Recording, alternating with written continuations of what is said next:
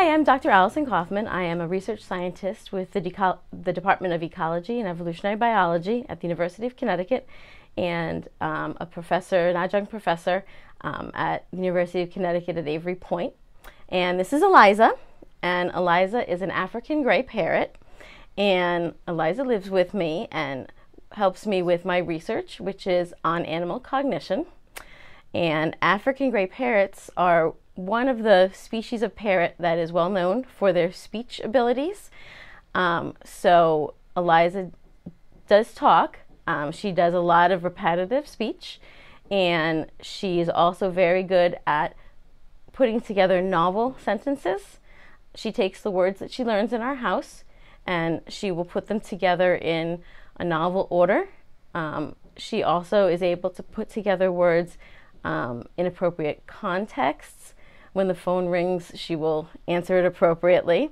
Um, she'll say hello. If I call my son upstairs, she'll answer with what.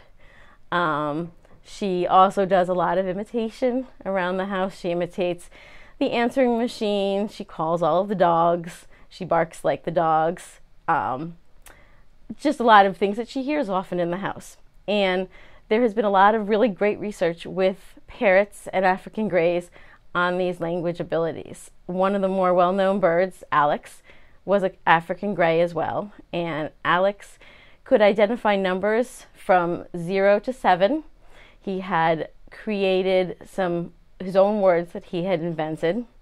Um, he was able to identify colors and shapes and combinations of colors and shapes as well. Pick those out.